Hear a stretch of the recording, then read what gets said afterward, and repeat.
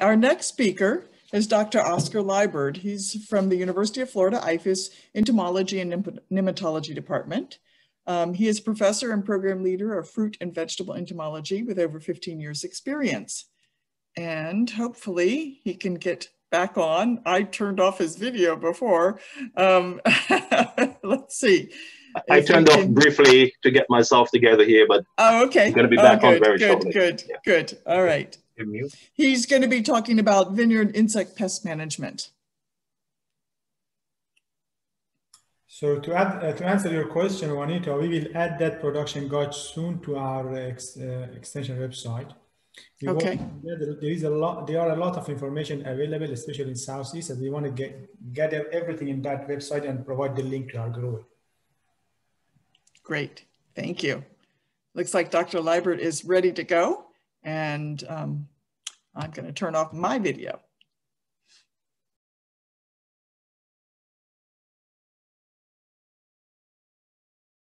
SMU.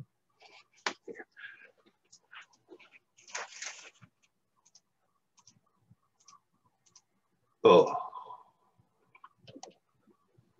Okay, good afternoon.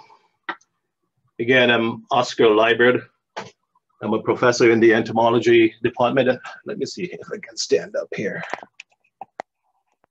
And uh, I've been with IFAS for quite some time, almost 20 years, working in all of the, the fruits and some of the vegetables.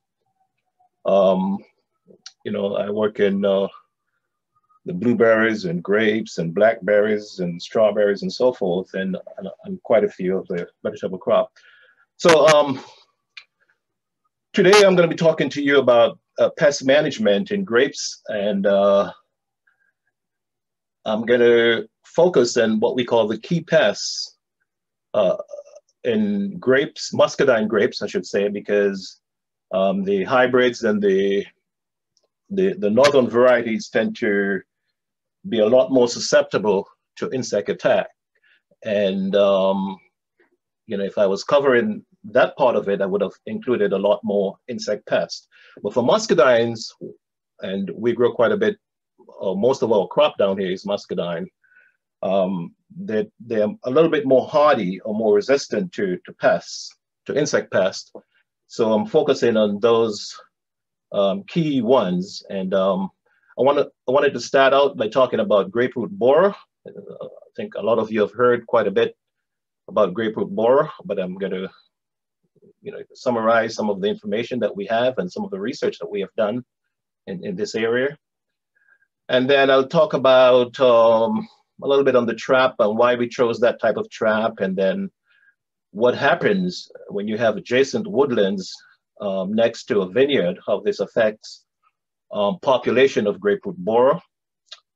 And then I'll talk about um, some of the work we have done looking at pesticides to control borers and also um, uh, this, the second pest that I'm going to talk about, which is grapevine aphids. And grapevine aphid is a, has, has been around for a very long time, but recently, within the last five years or so, we saw it quite a bit um, on muscadine and creating some problems for us here in Florida and Georgia and so forth. Then we're also going to talk about identifying some of those compounds to control the, the grapevine aphid and, and the effects of some of these newly registered products um, on some of the biocontrol agents that we have been using on the aphid itself. And then towards the end, I'm going to talk a little bit about some other occasional pests that we see in muscadine grapes. So let me start out with uh, grape root borer. And, um, you know, as I said, I've been around here for quite some time. When I first arrived in Florida, I was very excited about this pest because I've done quite a bit of work um, on, on pheromone pest management. And I realized this one was very much adapted to pheromone pest management. And I did um, quite a bit of this work at Michigan State University um, 20 years ago, so to speak. So I was excited and I was able to, to make some accomplishment. But let me tell you a little bit about uh, Grape Root Borer first. Um, I guess it's native to the southeastern part of the United States. Um, it's a it's a day flying moth, and um, quite a few people don't realize it's a moth.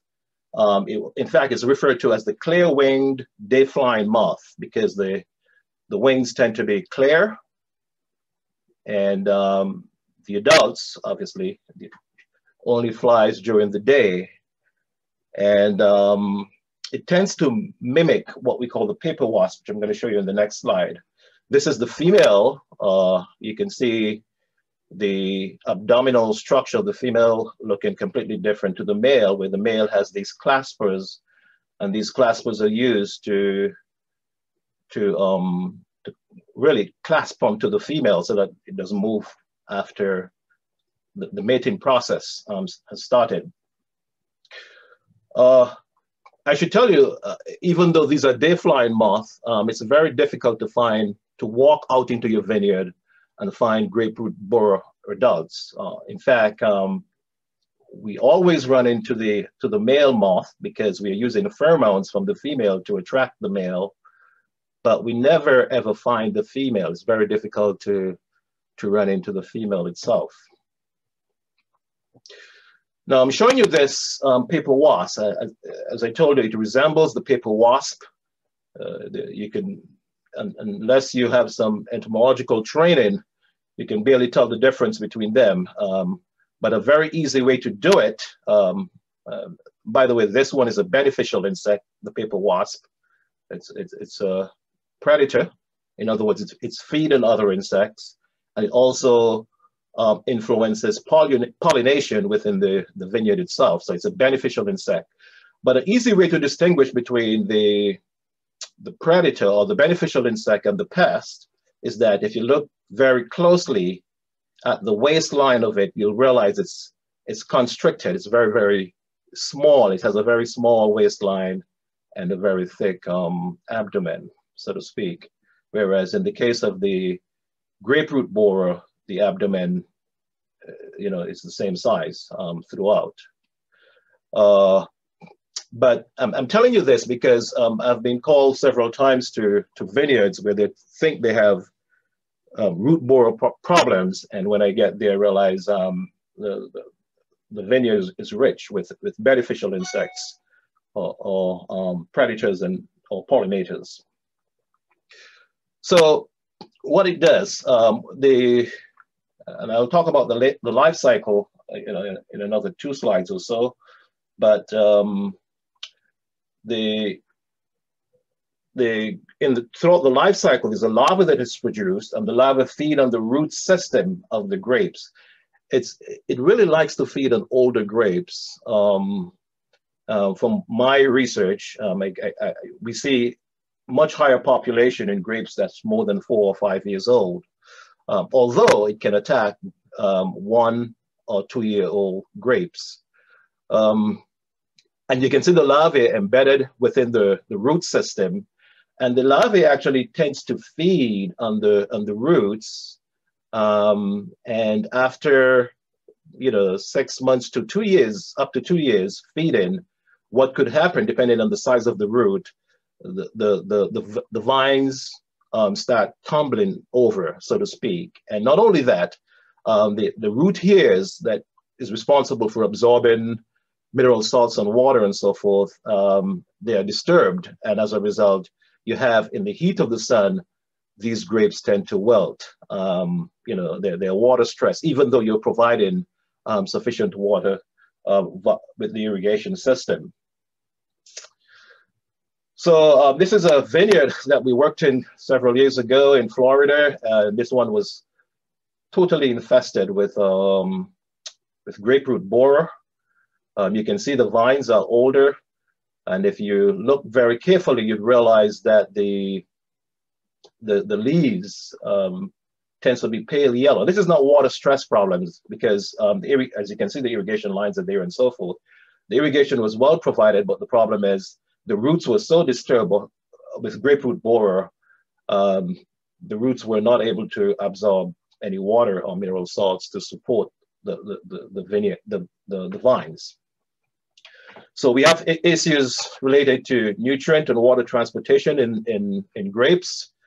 Um, the vigor is the vigor of the plant, you know, the robustness of the plant is also reduced um, because of these um,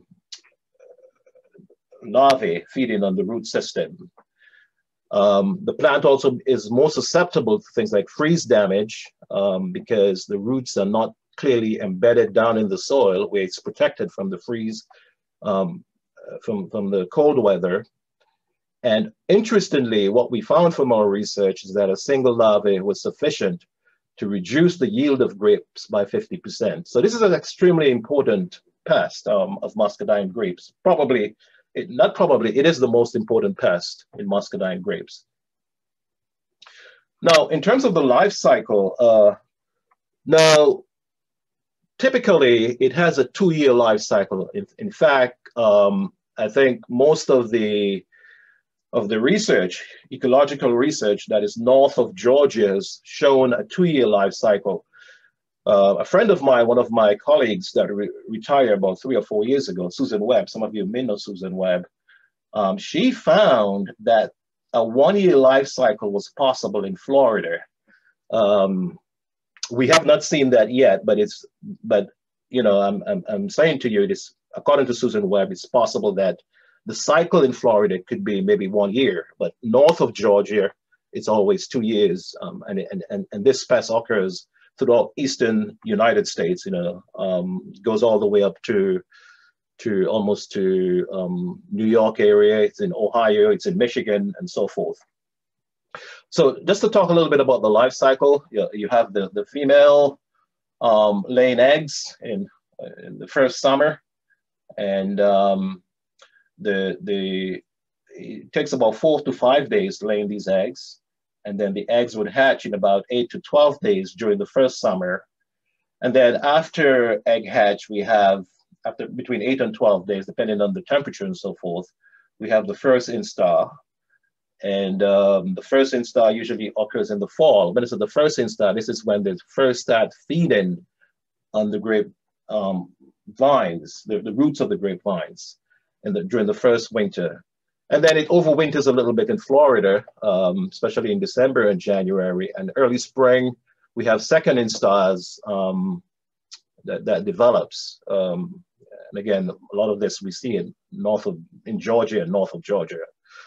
And in the second in the in the first spring, we have uh, the second instar, and then the second summer. And notice this is one year now. We have the third instar, and then in the fall, we tend to have the fourth instar. And all of these instars as a, little bigger than the previous instar, but um, and it as it gets bigger, the feeding uh, intensity tends to increase. Um, the fifth instar is the following spring, um, which is the second year. And then after that time, it goes into a pupation stage where it pupates and it stays there until almost the beginning of summer and then the adults emerge and start laying eggs again, where the cycle starts from a two-year cycle again. So it's a very complicated cycle. Um, it's a it's, the pest takes a very long time to complete its life cycle, and um, and man, this makes management extremely difficult. And and what complicates management also is the fact that the the pest occurs in the root system of the plant, so unless we have some kind of pesticide or some kind of management program that can target the, the larvae in the root system or use some kind of pheromone pest management where we can interfere with the behavior of the pest, it can be very difficult to control. So one of the first questions that we ask um, when I arrived here um, in the early 2000 was the fact that we wanted to know how do we monitor this pest? Because there was hardly any information available about monitoring. Um, I think the farmers and also the, the research before I arrived here, most of what they did is, is, is to see the damage and then they spray for the damage. Um, and that is not a very good system, so to speak, to manage um, any kind of pest. You need to be able to monitor it effectively, otherwise you're going to be wasting pesticide and developing problems with resistance and so forth. So um, one of the first things we wanted to find out is how to manage to monitor the pest, and we looked at some of the commercially available traps um, for monitoring moths. As I said before, this is a moth, um, Lepidopteran pest. And we looked at wing traps. So we also looked at um, bucket traps. And um, this is a green bucket trap, which is commonly used for monitoring Lepidopteran pests or, or moths. Um, and in this trap, we put a, uh, what we call a pesticide strip. And this is the, the purpose of the pesticide strip is to kill the, the adults or the moth as it flies into the trap itself. In the trap, we put um, a pheromone lure. This is the pheromone lure here. Uh, this is the bucket trap, and this is the wing trap. And inside the wing trap, we put also a pheromone lure. We wanted to see and compare the differences between these two types of traps. Remember, this one costs about a, a the, the wing trap costs about a dollar seventy-five. The bucket trap costs about nine dollars, and um, and we wanted to just evaluate those two trap types over um, a season. And um, what we found from our, our studies uh, was that the, the bucket trap tends to work, and we did this for two years, tend to work a lot better. Because um, in, in the summer, we tend to get heavy downpour of rain almost every afternoon here, especially here in Florida. And those wing traps really cannot survive um, the, the heavy downpour. They, they, they, tend to fall apart, so to speak. So um, uh, uh, even though they were cheaper, um, they only cost like a dollar seventy-five. The problem is, is that the bucket traps you can use this for. You know, uh, we had we we have bucket traps here that's 15 years old in in my lab, 15 years old. So um, you can use them almost indefinitely for quite some time. The bucket traps. Uh, whereas the wing trap, you can only use them for one season if you can use them for one season because, as I said, they're very susceptible to rainfall. So we found out and started recommending to growers here that uh, grape growers that they should use the bucket traps um, for monitoring this pest. Um, the other thing too is that uh, when we started this work, uh, we wanted to look at, because there are several different types, of bucket traps that are available for, for uh, monitoring Lepidopteran or, or moths. You, you have blue, yellow, white, and, and green. So we compared all those traps um, and, and what we found, although we, and this was done in a random, randomized complete block design experiments and so forth, which I'm not going to get into, but what we found was that um, the green and the, and the yellow trap um, tends to work very well uh, the white and the blue um, performed uh, a, a, lot less effective, put it that way. The, the problem with the yellow trap is that we realized that the yellow trap was attracting quite a bit of beneficial insects, uh, some of those same um, yellow jackets and so forth, and uh, and also bees as well too.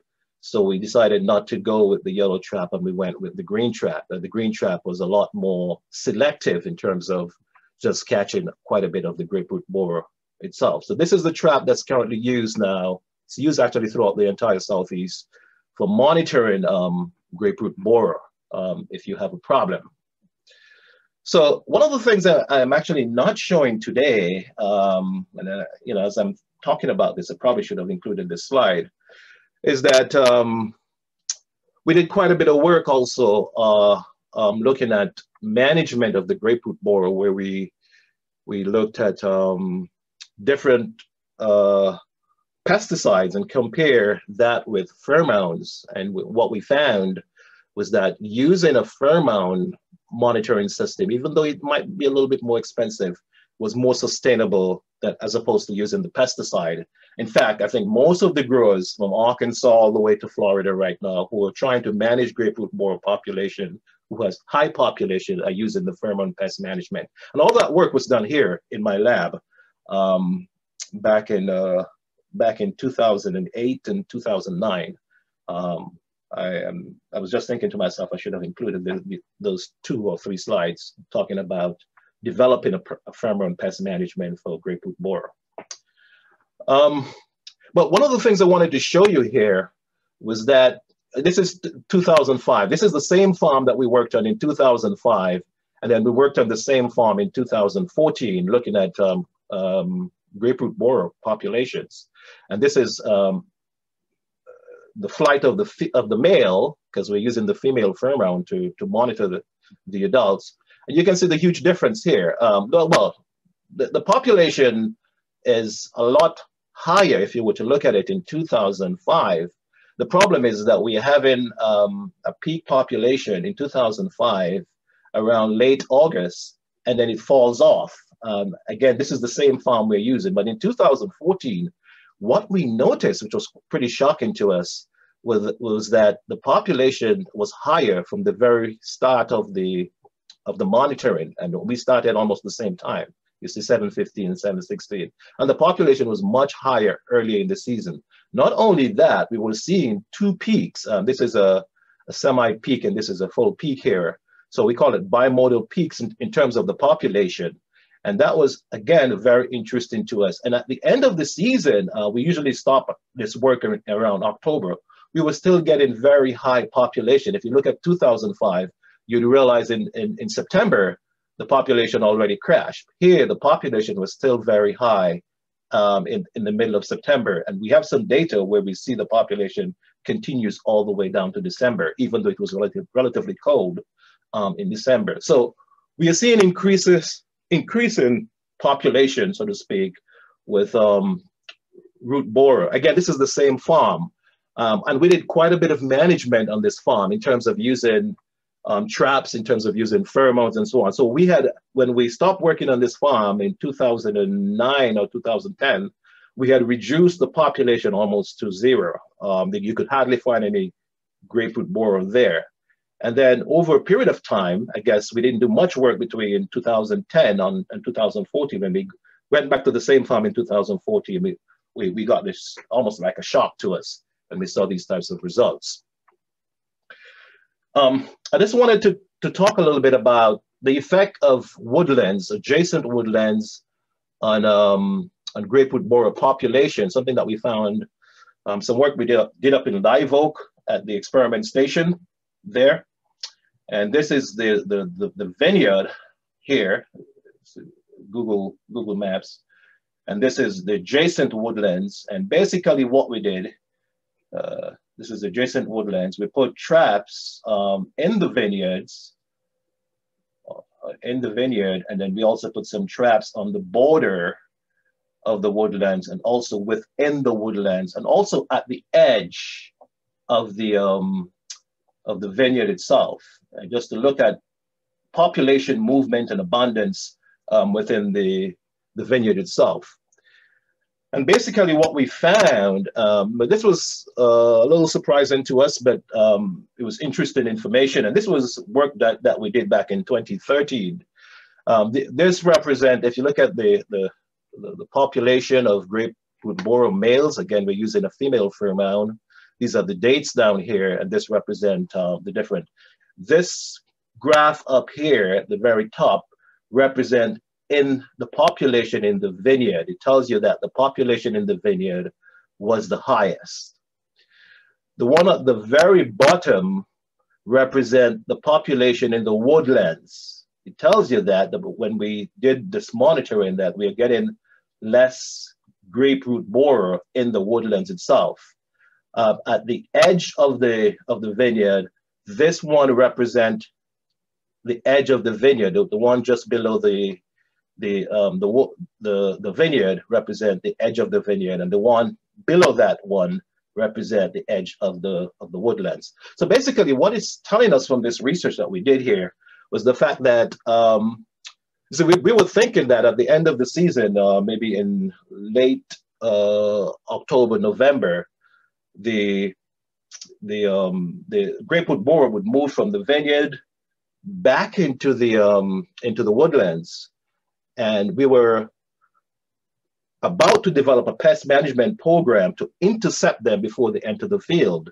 But we realized after doing this work that the actual borer itself was overwintering within the vineyard itself because we were finding them in the vineyard from the very start of the operation.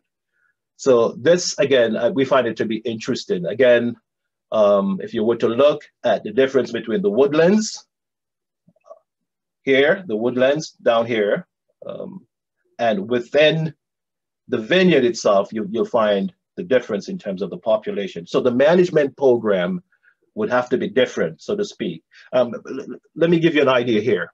Now, based on some work that we have done before, uh, if the population was high in the woodlands, what we would have done is to put up what we call border traps or border sprays. And this would have intercepted those adults from moving into the vineyard itself. Uh, we could also do the same thing using pheromone pest management. But because they were in the in the, the, the vineyard already, we had to develop other pest management programs like spraying and so on within the field to, to reduce that resident population, so to speak. So some of the conclusions that, that uh, we, we, we did here was that the bucket traps was the best trap, is much better than the wing trap. Uh, the green was much better than the yellow because the yellow um, tends to attract beneficial insects, including pollinators.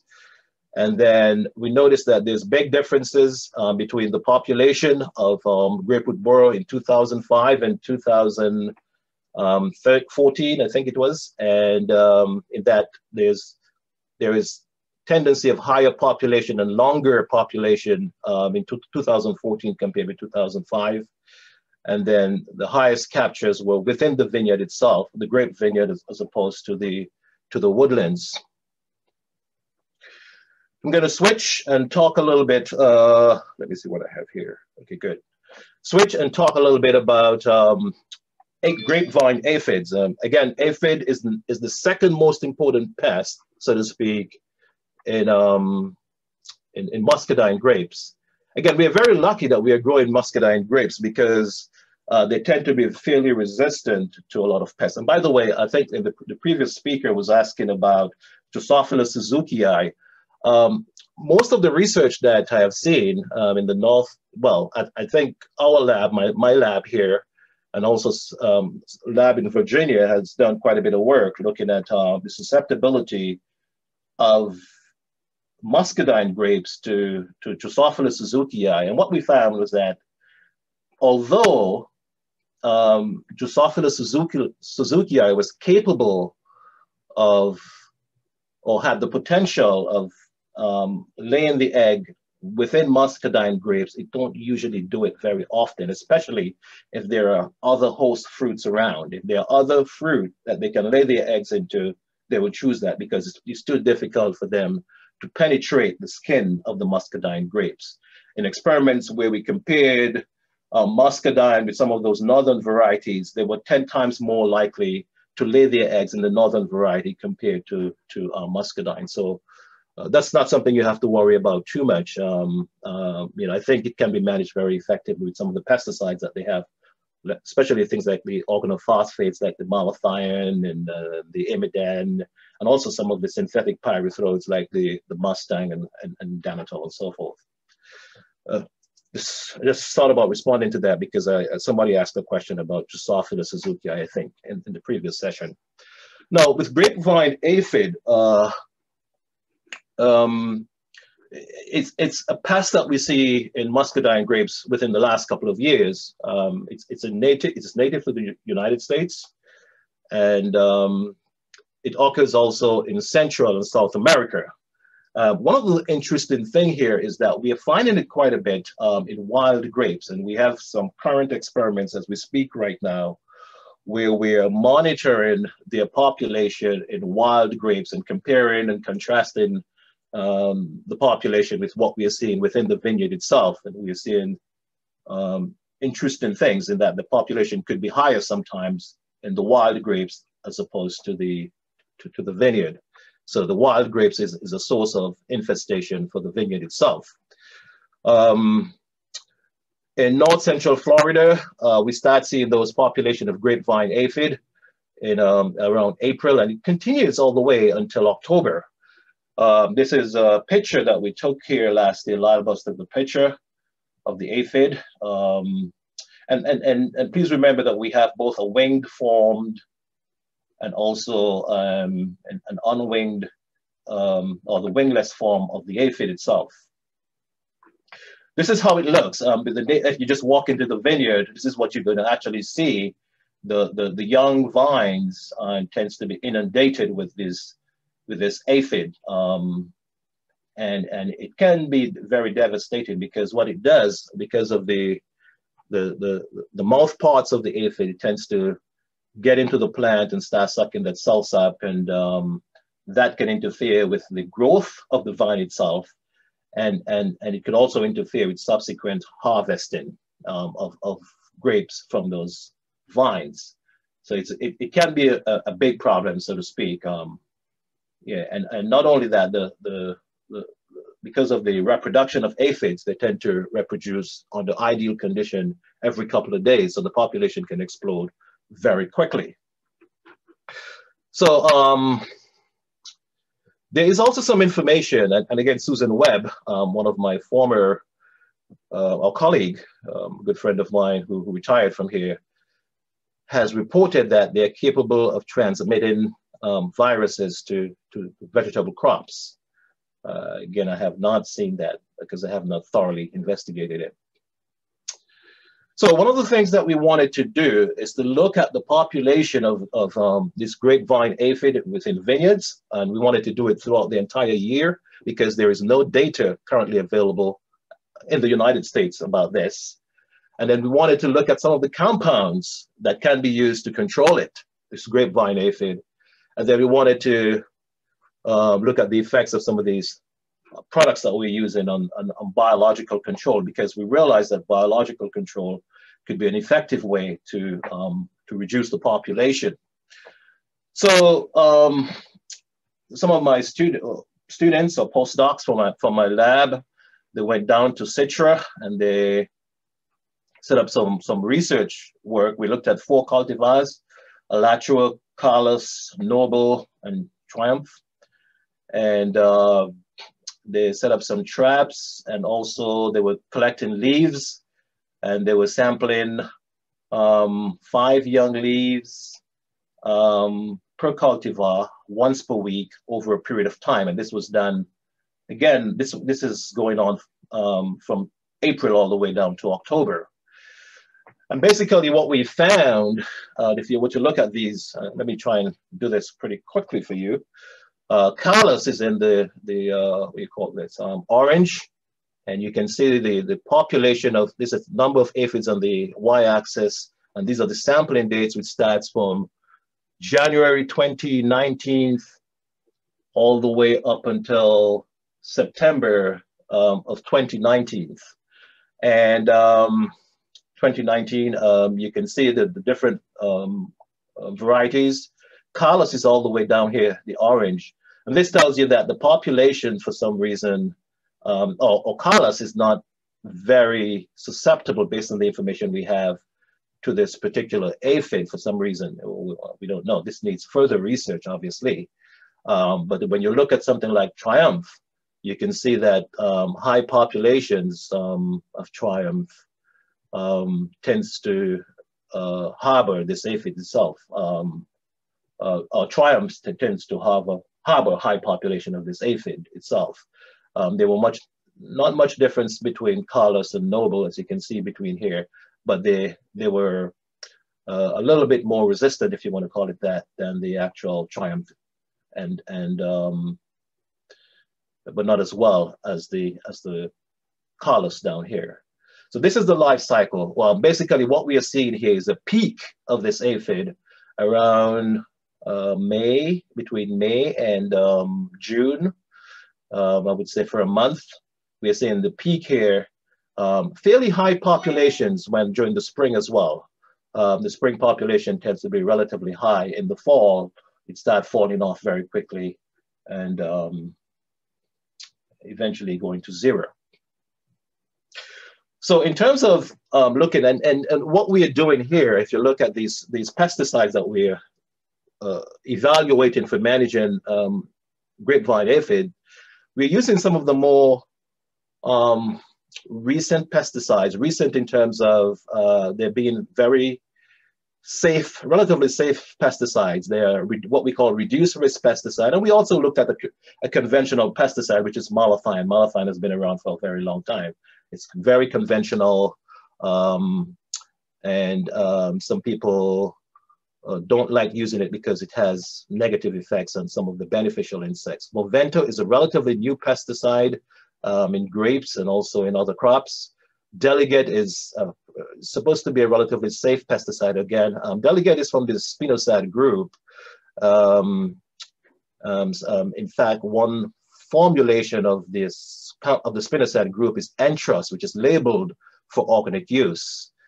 Um, this one here, Delegate, obviously is not labeled for organic use, but it's it's a relatively safe pesticide. Exirel is also um, um, a fairly new pesticide. Um, it's been around for just for a couple of years, and it's also considered as reduced risk. So we have a reduced risk Exirel, um, Delegate, Movento. Malathion is the only conventional products we have, and we compare that with an untreated control um, for the experiments. This is the vineyard where we did some of this work.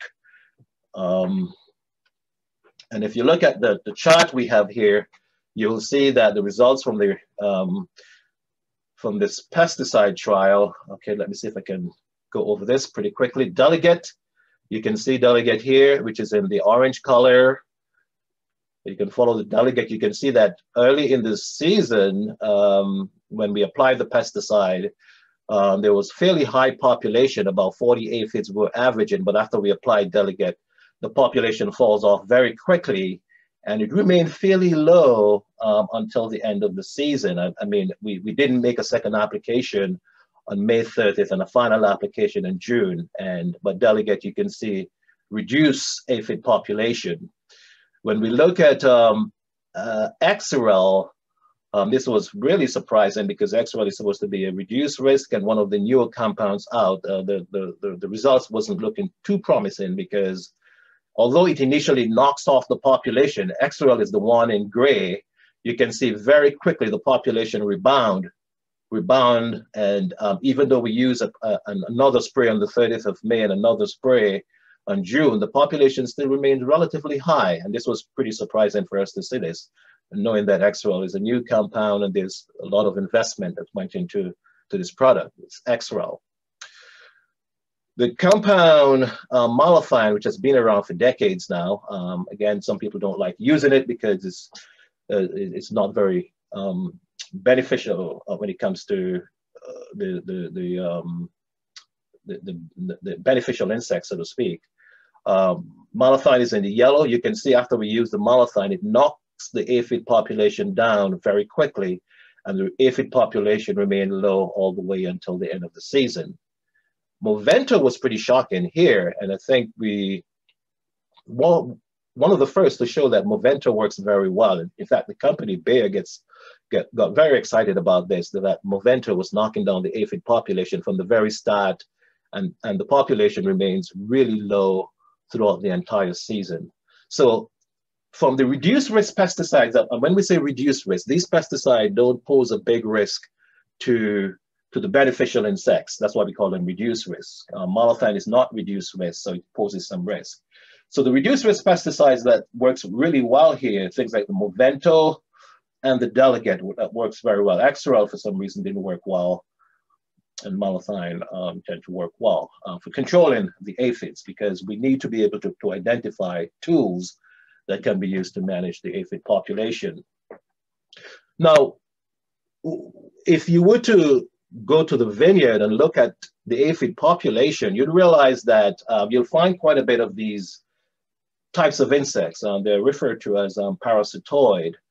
And what they're doing, these are beneficial insects. What they're actually doing, they're laying their eggs into the body of the aphid itself. And then the, the larvae develops. And what eventually happens, the aphid becomes parasitized, I mean, once it becomes parasitized, it looks like this. Uh, it looks like a, an engulfed tick, so to speak. And this, this is when you know it's parasitized. And in other words, it cannot function like a normal aphid. It can it, it, it it's on its way out, out, so to speak, after the eggs are laid and the larvae start developing inside. So um, so what we wanted to do, and these are very common, these parasitoid, um, Lysiphlebus testaceipes. It's very common in, in vineyards. Um, you know, if you can walk in your vineyard, you, you probably would find one of this insect within, if, if you don't search for it, within 10 minutes or so. Um, and we wanted to look at some of the pesticides, the effects of these pesticides and this particular biocontrol agent, which is responsible for, for the reduction in the aphid population. We also wanted to look at another common predator, which is in the, the vineyard itself, which is called Orius insidiosus. And this one does quite a bit in terms of feeding on, on some of the Lepidopterans eggs. And this is what time it is. Okay, great. I have to check my time because I have a way of going over time sometimes. Um, uh, yeah, so the, the Orius insidiosus, it's another beneficial insect in the in the vineyard, very common as well too. And we wanted to look at the pesticide, the effects on on Orius.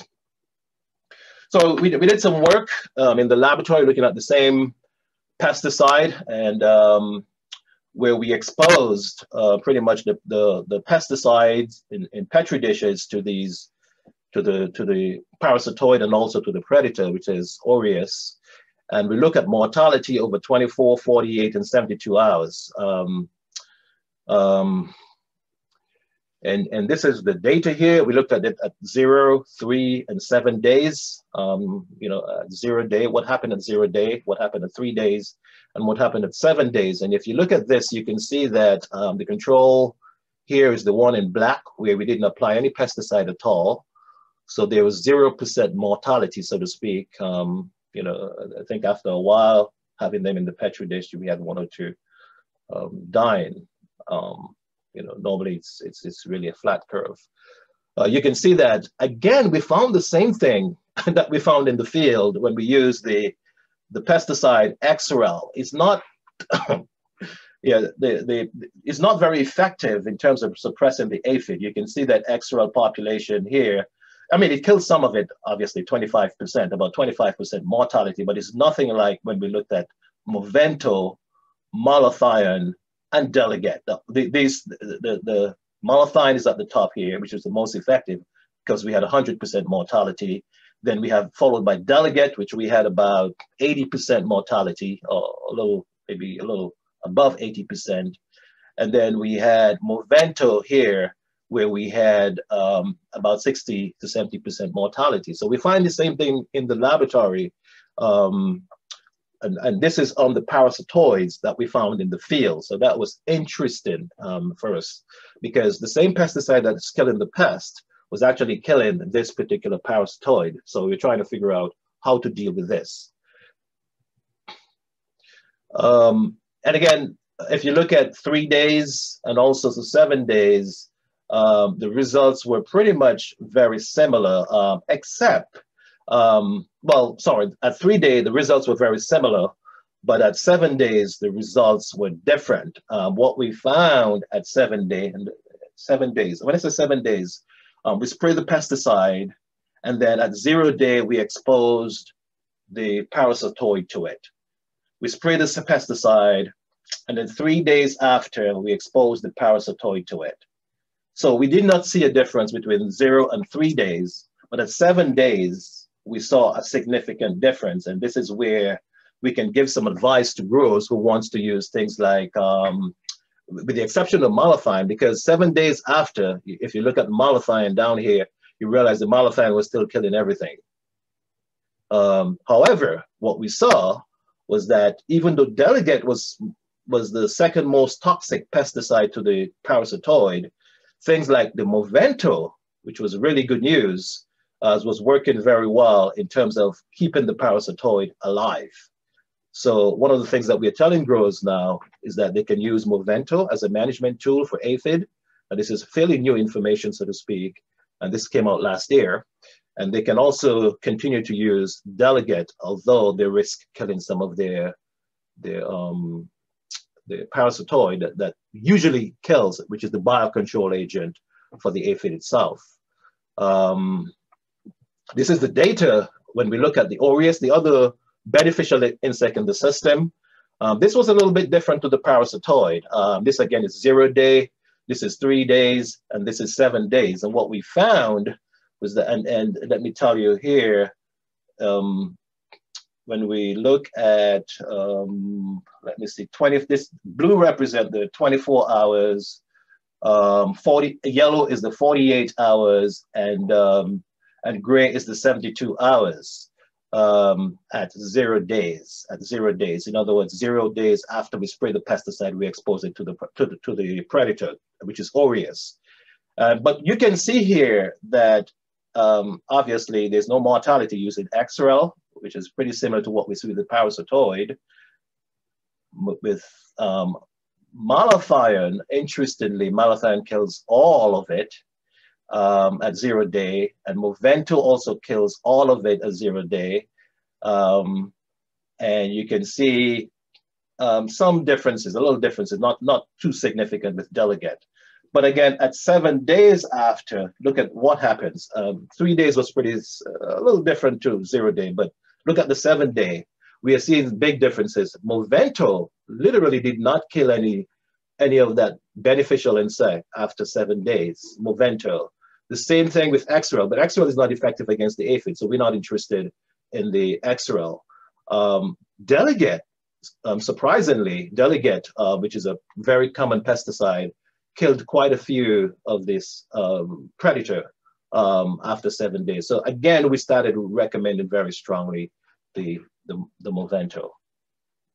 So this basically summarized some of our findings from the aphids that the low number of aphids were recorded in, in which are pointed out very clearly.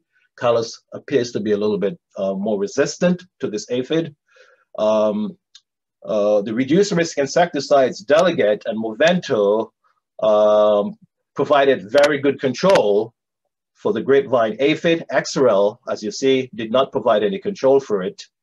And when we use the biocontrol agent, um, uh, we have to be very careful when we're using it. In other words, we should uh, only if we have control, and, and sometimes we can, not sometimes, we can buy some of these products and release them into the, into the vineyard, uh, we're saying seven days after it's, it's a good time to release some of these biocontrol, both the Orius and with the, um, and with the parasitoid itself. And Movento is the best compound. It's very compatible with both, the with both biological control agent, especially after seven days. Now I'm going to spend a little bit of time here and talk about some other pests that you see in the, these, these are secondary pests. The two pests I discussed first, um, which is the grape root borer and the um, aphid, those are the those are key pests. A key pest is a pest which is problematic in terms of uh, attacking your crop, and not only attacking your crop, but it causes what we call economic damage, economic damage to your crop. These secondary pests I'm going to be talking about very quickly, they don't cause economic damage unless you really uh, mismanage them in terms of just allow the population to continue without any check. Um, and that's one of the reasons why they refer to as secondary pests. And they are very common also in muscadine grapes. Um, flea beetles, uh, obviously, you probably have seen this. Um, it's, it's, a little small, black, metallic jumping beetle, very small beetle. It's only 532 of an inch. Uh, some of them are black, some of them are purplish black, so to speak. And when, once you touch the, the leaf, it tends to jump all over the place. Um, the, the, the, adults tend to feed on the leaf and um, they, they, they, they, make what we call short holes in the leaves. And sometimes they feed on the buds, the, the, the buds of the plant. Um, you'd also find that um, don't get mixed up when you saw when you when you see things like this in the field. Uh, this is the larvae of the flea beetle. Um, a lot of people have called me thinking that it's a different insect, but it's the same insect. This is the larvae part that looks a little bit different. This is the adults. Um, both larvae and adults actually feed on the, on the, on the, on the vine itself. Um, management of flea beetles is, uh, is, we always tend to use pyrethroids. And when we talk about pyrethroids, we're thinking that in, in terms of things like Mustang, Mustang, Danitol, and um, um, we, I, I, have listed here Imidan. Imidan is really an organophosphate that can also be used, although we don't use it too often. But the, the Danitol and Mustang is a very common products used to control um, flea beetles. And, and again, these are secondary pests, so they, they don't pose too much of a problem. The other thing I wanted to talk just briefly about is the glassy wing sharpshooter. You've heard a lot about this particular insect.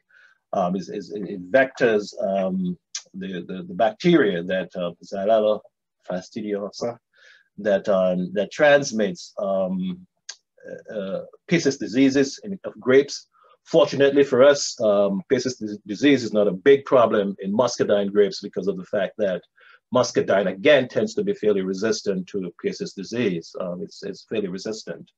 Um, so in terms of developing a management program for glassy wing sharpshooter, um, my lab hasn't really been focused on that because it's a secondary pest. We don't have issues with that in, in muscadine grapes. Although if you were growing northern grapes, some of the, um, uh, the, the, the, you know, the hybrids and so forth, then you would have a lot of issues with um, um, glassy wing sharpshooter. Please wrap um, it up quickly. We've exceeded our time now. Yeah, I'm, I'm actually, I'm, uh, i have one more slide after this, I think. Yeah, one more slide. Let me just go to, okay, this is a yep. grape, grape leaf folder, grape leaf folder. Um, it's, it's a pest that causes the actual um, leaves of the grapes to fold, um, as it says. And, um, you know, any Lepidopterous pest could be controlled with things like BT, Bacillus thuringiensis, or you can use Entrust. Entrust is, is part of the spinosad group. Or you can use delegate. Delegate also tends to be very effective when it comes to suppressing some of these um, Lepidopterous pests. And then my very last slide, I think here, um, I want to, is, is mealybug. Mealybug's a secondary pest again in grapes.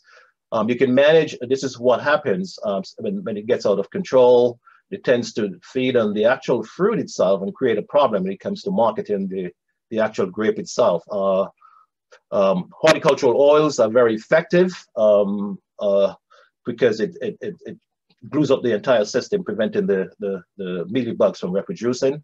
And sometimes you have to use uh, neonicotinoids pesticides, things like imidacloprid is pretty good.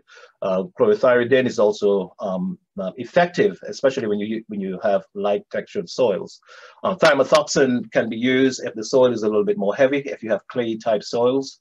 And dino, dinotefuran is also um, effective on some of these heavy soils. Movento, which is a fairly new pesticide, also work well in terms of suppressing uh, mealybugs. This is my lab group. Um, these are the people that do all the work here. And I want to thank them for, for their significant contributions. Thank you. Are there any questions? Okay, thank you. Um, I, I know everybody pretty yeah. quickly, um, but I wanted to share some of the some of our work. Um, yeah, and I'm, I focus on those things that are problems within our system, so to speak. Before people leave, remember that I, in the chat room I posted the exit survey link, and please do take that exit survey. And if you have any questions, please type them into the Q&A box there for Dr. Liburd. And can you can you read those questions for me, please, if you don't mind? Yeah. Yes, there's if, none if, there. If, if there are any questions, yeah.